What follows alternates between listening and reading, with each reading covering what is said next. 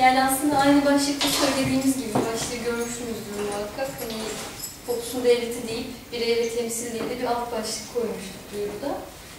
Ee, yani birey ve temsil aslında Hobbes'un devletini konuşabilmemiz için en gerekli iki kavram gibi duruyor. Yani bu kavramlar üzerine Hobbes ne demiş, ne düşünmüş, bunlar üzerine düşünmeye çalışırsak hani onun devlet teorisinin de aslında hücrelerine bir yerlerden dahil olma şansımız olabiliyor. Yani bu iki kavramın önemi biraz buradan geliyor açıkçası Hobbes'ta.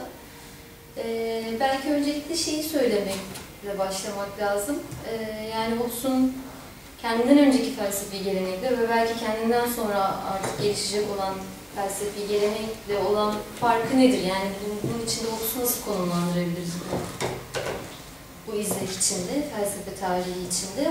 Orada da Hobbes'un getirdiği büyük bir yenilik var. Yani kudret dediğimiz kavram ki birey ve temsil kavramlarında aslında hep bir kudret kavramı üzerinden konuşacağız. O yüzden birey ve temsile geçmeden önce bu kavram üzerine yoğunlaşmak gerekiyor belki. Kudret kavramı nasıl bir fark yaratıyor? Öncelikle şeyi hatırlamak lazım belki.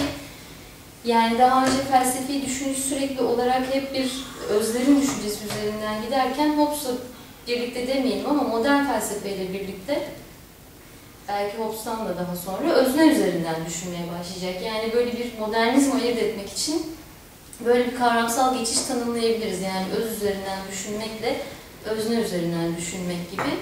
Ya öz üzerine düşünmekten neyi kastediyoruz? Yani Platon'un işte ideaları, Aristo'nun formu ya da işte Orta Çağ düşüncesindeki Tanrı. Bunların hepsi aslında özün belki de hani e, farklı biçimler almış şekilleri felsefe tarihi içerisinde. Ve burada her zaman için öz varoluşla ya da e, bu dünya, öteki dünya bu dünyayla öz görünüşle sürekli böyle bir karşılık ilişkisi içinde kurulmuş durumda ve öz burada bu dünyaya, görünüşlere nazaran her zaman için önceliği olan, değişmez olan ve evrensel olan ve aslına bakılırsa da bu dünyaya aşkın olan bir konumdayken özneyle birlikte bu dünyaya anlam verenin e, yine bu dünya olduğu gibi bir düşünce ortaya çıkıyor ve bunun ilk hali belki özne felsefesine bile dönüşmeden önce Hobbes'ta işte kudret kavramıyla ortaya çıkıyor. Kudret kavramı da öyle bir şey ki e, her şeyin aslında bu dünyada olup bittiğini alıştırmasıyla beraber çünkü kudret dediğimiz şey maddi ve canlı ve değişen hareket eden bir şey yani en başından itibaren. E, varoluşun özün varoluş içinde açığa çıktığı bir kavram aslında. Kudret kavramını böyle tanımlayabiliriz. Özü varoluş içinde gösteren yani hareket halinde, değişkenliği içinde gösteren bir kavram. Yani kudret de bu anlamda bir öz ama geçmişteki öz tanımlarından epey farklı bu açıdan. Ee,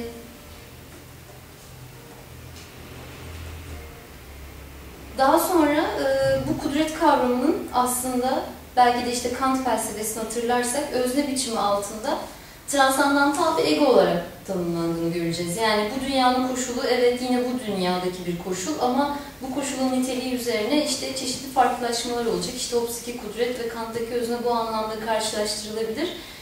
Ee, örneğin Kant'ı hatırlarsak Kant sürekli hani bu dünyayı bizim için anlamlı kılan bir takım hani evrensel ve zorunlu ve a priori dolayısıyla koşulların varlığından bahsediyordu ve bu koşulların ait olduğu alanı da aslında transandantal öznenin alanı olarak tanımlıyordu. Çok ilginç bir biçimde Hobbes Kant'ı önceleyen bir biçimde bu alanı politik olarak tanımlıyor. Yani Hobbes'un kudret kavramının aslında e, hani e, ezber bozucu yanı tam da bu alanın politiklik üzerinden tanımlanması. Bu kudret kavramını nasıl tanımladığına bağlı olarak Hobbes'ta politiklikte işte böyle Kant'ın öznesi gibi her şeyi belirleyen ama kendisi belirlenmeyen bir transandantal alan ortaya çıkacak ve bu transandantal alanın kurucu üyeleri de işte birey ve temsil olacak aslında.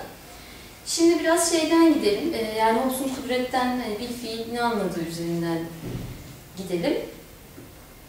Ee, Hobbes işte bireyden yola çıktığı için asıl olarak da kudret kavramının da aslında e, doğrudan söyleyelim, en son söyleyeceğimiz şeyi başta söyleyelim. Kudret kavramını bireyin mülkiyeti gibi düşünüyor. Yani şöyle bir şey, başlangıç noktası birey olduğu için kudret de şu şekilde tanımlanıyor. Bir insanın kudreti, burada insanı birey olarak anlamakta çok zorlanmıyoruz. Evet Hobbes çoğu yerde birey demiyor ama insan kavramını gerçekten de bugün bildiğimiz anlamda bireye oldukça yakın bir şekilde tarif ediyor ki e, aslında e, yani sohbetimiz boyunca da bir şekilde hep bunun böyle olduğuna delalet olan şeyleri konuşacağız. Şöyle tanımlıyor, yine geri dönersek kudret tanımını. Bir insanın kudreti genel olarak ele alınırsa iyi gibi görünen gelecekteki bir şeyi elde etmeye yarayan şu anki araçlardır diye tanımlıyor ve kudretin burada aslında bir araç yani elde edilebilecek ya da kaybedilebilecek yani üzerinde hakim olunabilecek ya da olunamayacak bir araç olarak tanımlandığını görüyoruz. Burada işte bunun nasıl bir mülkiyet kavramı olduğunu yani kudreti nasıl bir mülk, mülk edinebilecek bir şey olarak düşünüldüğünü belki daha anlaşılır kılmak için Spinoza'daki kudret kavramının olduğunu hatırlayabiliriz mesela.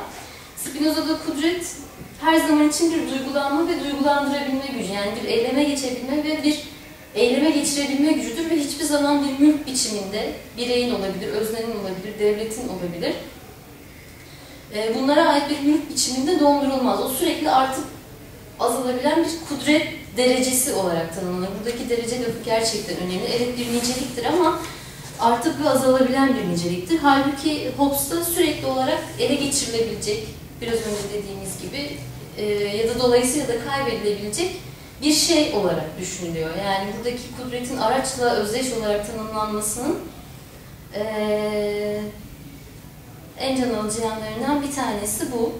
Peki bunun birey kavramıyla ilişkisine işte Hobbes bireyi aynı e, aynı e, e, mülkiyetiyle tanımlanan bir insan olarak düşünüyor. Yani kudretleriyle tanımlanan bir insan. Bu tabii ki yine önceki felsefeden büyük bir kopuş. Artık bir insanı özüyle, hani olması gerektiği haliyle tanımlamıyoruz da olduğu haliyle tanımlıyoruz ve Hobbes'a göre insanın olduğu hal aslında işte çeşitli kudretlere yani varlığını sürdürebilmek için ki bu Hobbes'a doğal hak olarak tanımlanacak. Bu hakkını gerçekleştirebilmek için sahip olduğu e, araçların belki de bir toplamı, bir bileşimi olacak ve bireyin varlığını sürdürebilmesi için önemli olan şey bu araçlar üzerindeki mülkiyetini tesis edebilmesi olacak. Ve e, Hobbes'ta işte o meşhur iç savaş durumu ya da herkesin herkesle savaş esprisinin dayandığı yerde burası olacak. Her birey bunu yapmaya çalışacağı için, varlığını sürdürebilmek için işte belli şeyler ve araçlar üzerinde ki mülkiyetini sağlamak için uğraşacağı için buradaki herkesin herkesle savaşı da kaçınılmaz bir durum olacak. Hobbes'taki bireyin görünümü, ya daha doğrusu insanın görünümü böyle bir birey tanımına dayanıyor olacak. Ve Hobbes burada diyecek ki e, bu araçlar yani işte kudret olarak nitelendirebileceğimiz ve mülk edinebileceğimiz bu araçlar doğal ya da araçsal olabilir. Yani doğal araçlardan neyi kastediyoruz? İşte e, bedenimizin ve zihnimizin yetileri örneğin böyle doğal araçlar olarak düşünülebilir.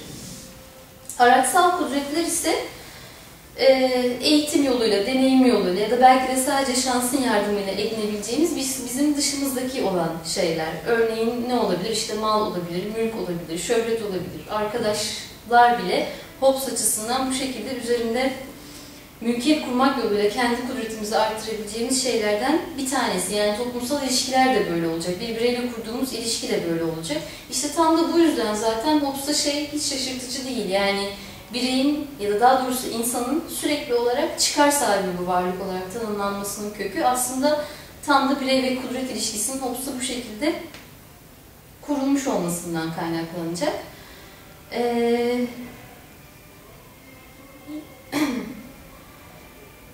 bu şeyi biraz daha açalım. Yani e, birey ve kudretler olan ilişkisinin nasıl düşünüldüğünü. E,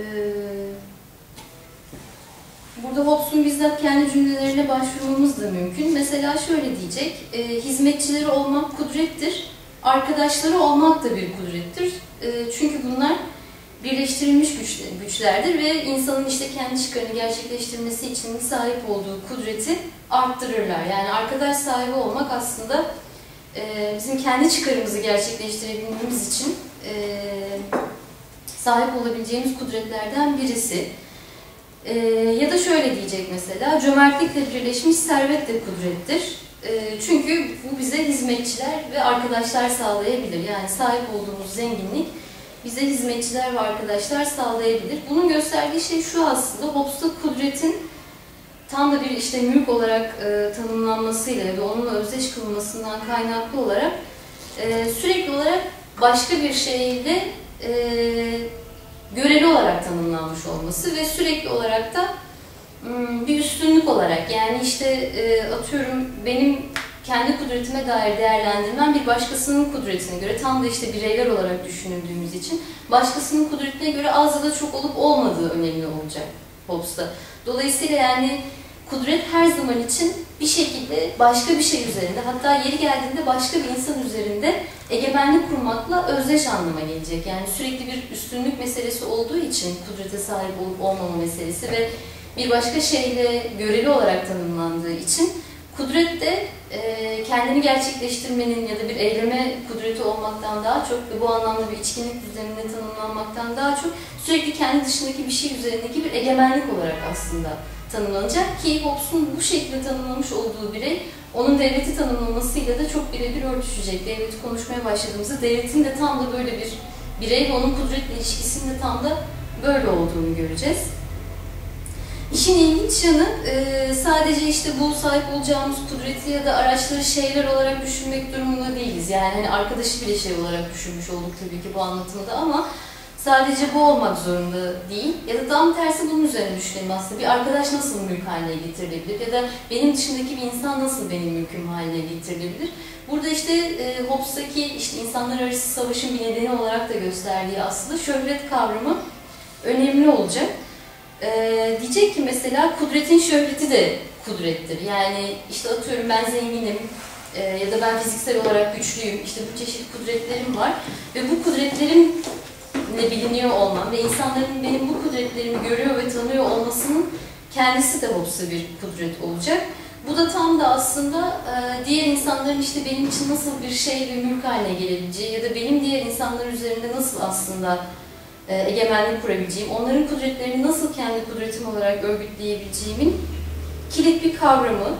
Kudretin şöhreti de kudrettir. Böylelikle e, yanımdaki korunmaya ihtiyacı olan insanların bağlılığını sağlar bana. Yani şöhretin yaptığı şey de bu. İşte diğer insanların benim kudretim karşısında boyun eğip itaat edip kendi kudretlerini benim çıkarım için kullanabilmeme olanak vermeleri haline gelecek. Yani bu öyle bir boyut ki e, Hobbes'ta mesela bir insanı onurlandırmak, yani bir yeteneğinden dolayı ona saygı duymak ve bu saygıyı bir şekilde göstermenin bir yolunu, bir ifadesini bulmak aslında ona itaat etmekle aynı anlama gelecek. Diyecek ki bir insanı onurlandırmak ona itaat etmektir. Yani benim gücümü aslında onun gücünün e, gücüne biat ettirmektir. E, onurun bile anlamı e, böyle bir yere indirgenmiş olacak Hobbes'ta. E, burada söylediği çok önemli bir şey var. Yani şöhret kavramına çok yakın bir şekilde ve bu biraz aslında Hobbes'un e, bugün içinde yaşadığımız politik ekonomiyle dolayısıyla kapitalizmin kurmuş olduğu toplumsal ilişkilerle olan bağını da kuran bir şey. Bu şöhret kavramını bir de aynı şekilde değer kavramı üzerinden açacak Hobbes ve diyecek ki bir insanın diğeri bütün diğer şeylerde olduğu gibi onun fiyatı yani onun kudretinin kullanılması için verilmesi gereken şeydir.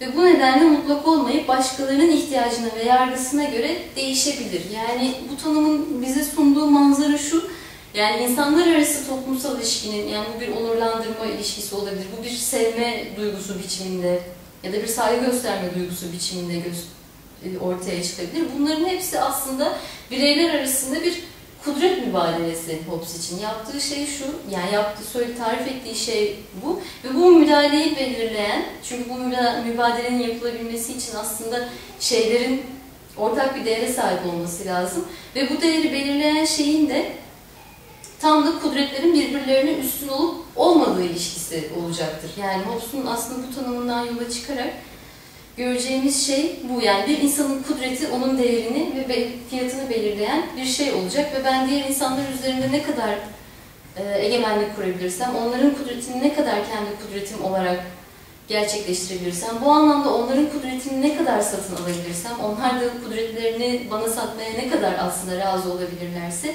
benim kudretim o kadar artabilir e, Hobbes'ta. Dolayısıyla aslında e, Hobbes'un e, toplum öncesi ya da devlet öncesi olarak tanımadığı, herkesin herkesle savaşını sürmekte olduğu o doğa, doğa durumunda, herkesin birey olduğu o doğa toplumunda e, insanların birbirleriyle olan ilişkisi bir piyasa ve bir mübadele ilişkisi olarak tanımlanıyor. Aslında buradan çıkaracağımız en önemli sonuç bu ve Hobbes'a göre bunun bir sonu yok. Yani bizi savaş durumuna sokan şey de tam da bu olacak. Yani şöyle düşünebiliriz. Yani ben çıkarlarımın farkındayımdır, belirlemişimdir ve o çıkarları gerçekleştirebilmem için şu şu, şu şu araçlara sahip olmam, şu kadar kudrete sahip olmam yeterlidir deyip o kudret savaşından çıkabilirim ve artık o mübadele ilişkisine ve o savaşa aslında girmeyebilirim. Ama Hobbes diyecek ki e, böyle bir şey olamaz. Çünkü aslında e, elde ettiğimiz her kudret e, başka bir şeyin elde edilmesi için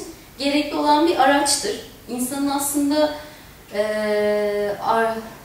insan şunu düşünmez yani bir kereliğine işte arzumu gerçekleştireyim, bir kere çıkarımı gerçekleştireyim ve ondan sonra da bir daha bunun benim için önemi kalmaz diye düşünmez. Tam tersi gelecekte de o arzusunu gerçekleştirip gerçekleştiremeyeceğinin güvencede olup olmadığını e, sürekli olarak sorar kendine ve tam da bu güvenceyi yaratmaya çalışır. İşte mülkiyet ilişkisinin de aslında ortaya çıkacağı şey bu olacak. Yani insanların e, kudretlerini bir araç olarak görmesi ve kudret sahibi olmayı da sürekli bir mülkleştirme olarak düşünmesinin dayandığı yerde tam da burası olacak. Yani ben evet şu an için bu kudrete sahibim ama acaba gelecekte de bu kudret benim olacak mı? Ve ben bu çıkarımı gerçekleştirmem için gerekli olan bu araca sürekli olarak sahip olabilecek miyim, olamayacak mıyım?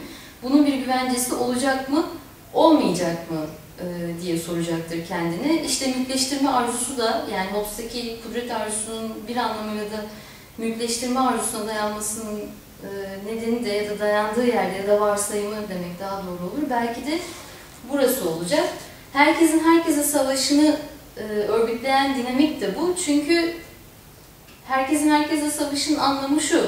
Yani doğa durumunda, devlet öncesi durumunda Hobbes'un ön varsayımı şu olduğu için herkes doğal olarak eşit. Yani herkes e, bu şey benimdir deme hakkına sahip. Yani benim çıkarım şu, ben şunu yapmak istiyorum ve onu yapmamı mümkün kılacak olan araç da bu. Ve ben bunu istiyorum dediği anda bunu diyebilecek olan başka insanların da aynı kendisi gibi olacağının farkında ve gerçekten de hiçbir yasanın yani kimin e, herhangi bir şeyin neyin olduğunu, hatta iyi ve kötünün ne olduğunu, e, ne olduğunu belirleyen hiçbir şeyin olmadığı o doğa durumunda e, herkesin e, bunun üzerinde hak talep etme hakkı olacak ve işte bizi birbirimizle savaşmaya sokan şey de bu olacak. Yani bu onun üzerinde hak iddia edebilmenin eşitliği. Hobbes açısından bu doğal bir eşitlik. O da şuradan geliyor. Ee, yani mesele şey değil gerçekten de. Ben, bir başkasından daha zeki olabilirim, daha kurnaz olabilirim.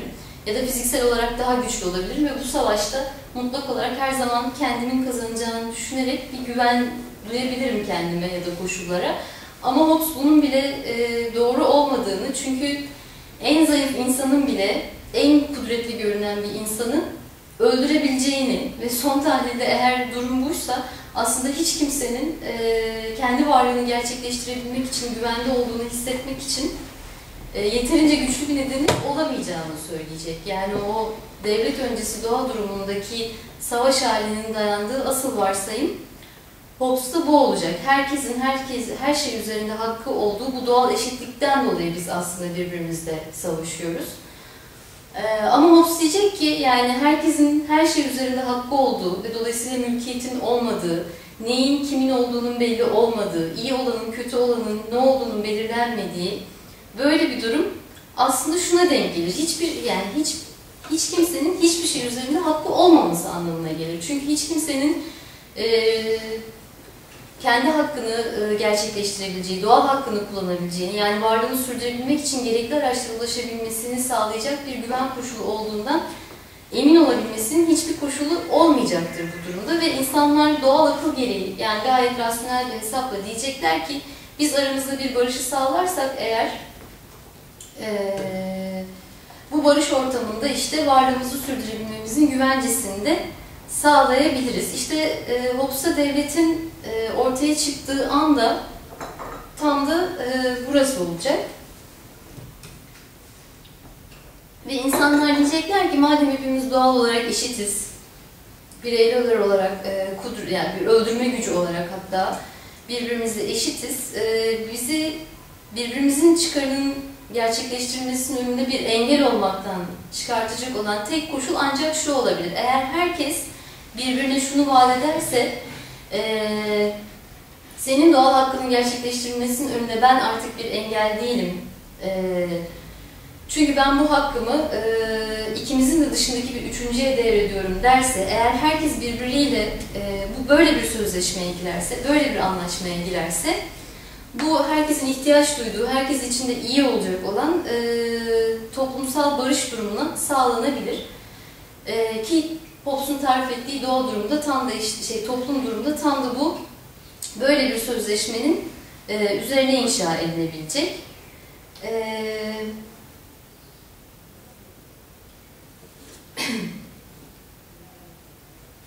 Ve bu üçüncü e, aslında herkesin doğal hakkını e, devrederek oluşturmuş olacağı bu üçüncü tam da devlet olacak. E, ama burada şöyle bir hatırlatma yapmak lazım. Burada aslında yeni bir hakkın yaratılması söz konusu değil. Yani devlet aslında yeni bir hakkın tesis edilmesiyle ortaya çıkmış olan bir üçüncü kişilik değil Hobbes'ta. Tam tersi bireylerin yine doğal hakkı üzerinden düşünüyor işte Hobbes burada ve bu doğal hakka sahip olan tek bir kişinin ortada kalacağı bir koşul tasarlamış oluyor bu şekilde. Yani devlet aslında doğa durumunda bütün bireylerin sahip olmuş olduğu doğal hakkı tek başına elinde bulunduran yegane güç. Yani böyle bir yegane gücün oluşturulması durumunda ve bu, bu gücün tanınması durumunda artık herkesin korkacağı tek bir şey olacak. O da devlet. Ve de e, dolayısıyla politik alanın e, kendisi olacak. Bu üçüncü böyle bir politik kişilik olacak. Doğal hakka sahip tek kişi. E, çünkü Hobbes'un tabii ki buradaki başka bir varsayımı da şu, yani bireyleri sürekli harekete geçiren gücün, yani en büyük güçlerden birinin e, ve de onların eylemleri üzerinde eyleyebilmenin temel koşulunun korku olduğunu düşündüğü için insanlar bu sözleşmeyi yaptıkları andan itibaren bu sözleşmenin devam edebilmesinin koşulunun da e, ancak devlet gibi bir zorun yani işte e, öldürme gücünü aslında tekerleştirmiş olan bir gücün varlığı olabilir. Yani böyle bir korkuyu insanlara ancak böyle bir devlet verebilir. Öldürme tekelini, dolayısıyla da aslında doğal hakkı tekerleştirmiş olan böyle bir güç diyecek. Burada tabii önemli olan işlem şu, yani insanların sözleşmeyle yaptıkları şey ne aslında ve temsil kavramı nerede ortaya çıkıyor? Burada yaptığımız şey aslında kendi egemenlik hakkımızı ya da işte varlığımızı sürdürebilmemiz için e, elimizde bulunan bütün araçları kullanabilme ve eyleme geçebilme hakkımızı devrediyor olmamız. Yani temsil ilişkisini oluşturan şey Hobbes'ta Tam da bu. Yani öyle bir şey olacak ki işte e, eskiden bir sürü kişilik ve bir sürü birey varken ve herkes kendi eyleminin ve sözünün sahibi bireyler olarak düşünülmüşken devletin yaratıldığı andan itibaren eylemine ve sözüne sahip olan tek kişi aslında bu temsil gücüne sahip olan, diğer insanların bütün iradelerini temsil etme gücüne sahip olan devlet olacak.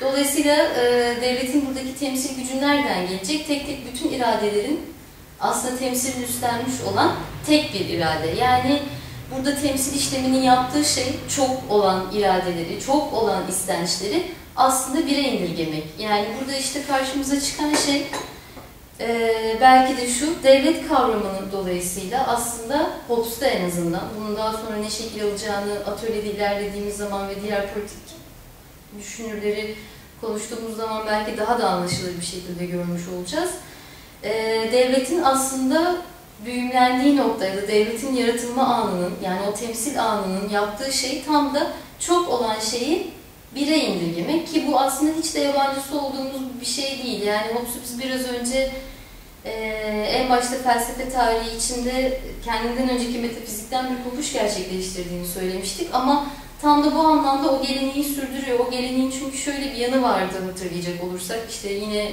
söyleyelim Platon'un ideaları, Aristo'nun formu. Aslında kabaca söyleyecek olursak e, bu kavramların yaptığı şey ya da arkasındaki ruh şöyle bir şeydi. Yani tekil olanı neyin içinde anlamlı kılabiliriz? Burada işte daha önce verilen yanı tekil olanın ancak tümel içinde anlamlı kılınabileceğiydi. E, tükel olan, tekil olan üzerine ya da tikel olan üzerine düşünmenin ya da onun hakikatinin ancak tümel içinde düşünülebildiği oranda mümkün olduğuydu. Varsayım buydu. Ki Hobbes'ta da bu. Yani bu temel değişmiyor. Tek fark şu, bu tümel eskiden işte biraz önce bahsetmiş olduğumuz özlerken, işte idealarken, tanrıyken, atıyorum formken, şimdi Hobbes'a bir anda devletin bizatihi kendisi olacak. Yani politikliğin kendisi olacak. Burada işte politikliğin sonuçta aldığı biçimde aslında her şeyi belirleyip kendisi belirlenmeyen e, ve hayatta ya da ne bileyim işte hayatın içindeki bütün özellikleri aslında aşkın e, ve bu anlamıyla da aşkınsal olan onların eylemlerin üstünde eyleyebilen transandantal bir koşul ama bu transandantallığı ona veren Kant'tan farklı olarak, Kant'ta bu tamamen zihinsel alan üzerinden tanımlanıyordu. Hobbes'ta tamamen bir kudret ilişkisi olacak.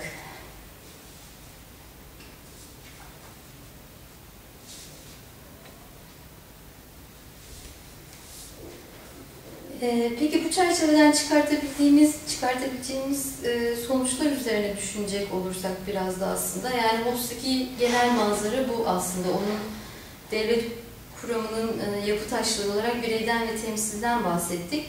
Burada şeyi sorabiliriz gerçekten de. Yani Hobbes'un öne sürdüğü birey aslında e, gerçekten de böyle bir başlangıç noktası alınabilir mi? Evet alınabilir. Yani Hobbes'un yaptığını yapmış yaparsak tıpkı onun yaptığı gibi bireyi aslında e, bir başlangıç noktası olarak alırsak, kendinden önce onu belirleyen hiçbir şey olmayan, e, mülkiyetiyle tanımlayan, onun özgünlüğünü ancak sahip olduklarıyla tanımlayabildiğimiz bir insan varsayımından, bu anlamda bireyden yola çıkarsak, gerçekten de e, bu bireyler arasındaki savaş da kaçınılmaz olacağı için Hobbes'un tasarlamış olduğu gibi bir devletten başka barışı sağlamanın ve bir toplumsal ilişkiyi inşa etmenin başka bir koşulu olmadığını düşünebiliriz. Ama acaba şöyle değil mi? Yani Hobbes'un tanımlamış olduğu bireyin ta kendisi belli bir toplumsal ilişkiyi ön varsaymıyor mu? Yani birey dediğimiz şeyin içinde aslında belli bir top, toplumsal ilişkiye dair belli bir ön varsayım yok mu gerçekten de? Belki de sorgulanacak olan en önemli boyutlardan biri bu. Yani bunu şöyle de düşünebiliriz. Yani birey gerçekten bir neden midir? Hani her şeyi e, belirleyen ama kendisi belirlenmeyen o anlamda. Yoksa aslında toplumsal ilişkilerin kur, kuran belli dinamiklerin belirlemiş olduğu bir sonuç mudur? Ki Hobbes'un kudreti adeta bir meta olarak tanımlaması, ele geçirilebilecek ya da kaybedilebilecek bir mülk olarak tanımlaması tam da e, onun birey varsayımının altında yatan ve onu önceleyen bir toplum varsayımı olduğunu düşünebiliriz. Yani gerçekten de aslında Hobbes'un birey diyerek ve bireyler diyerek e, aslında onların arasındaki toplumsal ilişkiyi başından itibaren bir piyasa ilişkisi olarak tanımladığını görüyoruz. Yani eğer e, kudretler mübadeleye konu olabilecek olan, değişilebilir olan şeyler ise tam da bu değişimin gerçekleştirebileceği bir toplumsal ilişkinin de var olduğu anlamına gelir ve birey bu toplumsal ilişkileri kuran olmaktan daha çok ki kurulduktan sonra elbette onun öznesi haline gelerek yeniden üretecektir ama aslında tam da bu ilişkilerin kurduğu bir sonuç mudur diye e, sormak gerekiyor. Yani e, dolayısıyla buradan yola çıktığımızda Hobbes'ta toplumsal ilişkinin nasıl düşünüldüğünü düşündüğümüzde toplumsal ilişki e, bireylerin toplumsal ilişkisi olarak düşünüldüğü oranda aynen Hobbes'ta olduğu gibi yani sürekli bir olumsuzlayıcı, e, kendi dışında olan her şeyi dışlayan ve ötekileştiren ve ancak onun olumsuzlaması üzerinden kendisini olumlayabilen e, bir toplumsal ilişki üretimi olarak düşünmek zorunda. Yani bunun dışında bir şeyi e, düşünebilmek mümkün değil. Birey dediğimiz anda daha doğrusu tüm bunları da aslında çağırmış ve ön kabul etmiş oluyoruz. Dolayısıyla eğer e, Hobbes'u eleştireceksek ya da daha doğrusu toplumsal ilişkilerin bu şekilde yapılanışını eleştireceksek onun tam da e, birey kavramının ve bu birey kavramının bir arada bulunmasını ve birbirini öldürmeden aslında barış içinde yaşayabilmesini mümkün kılan temsil ilişkilerinin e, eleştirilmesinden başlamak gerekecek. E, mi? Yani ben zaten aslında burada bırakmayı düşünüyorum. Ee, bu çerçeve üzerine söyleyeceğimiz ya da sorunsallaştıracağımız başka şeyler varsa onlardan itibaren açmaya devam edebiliriz. Ama benim genel çerçeve olarak söyleyeceğim bu kadar aslında.